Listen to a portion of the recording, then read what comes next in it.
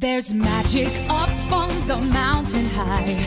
Buckle up your seats, you're heading to the sky. It'll blast you up, then blast you down. You'll laugh and scream until you touch the ground.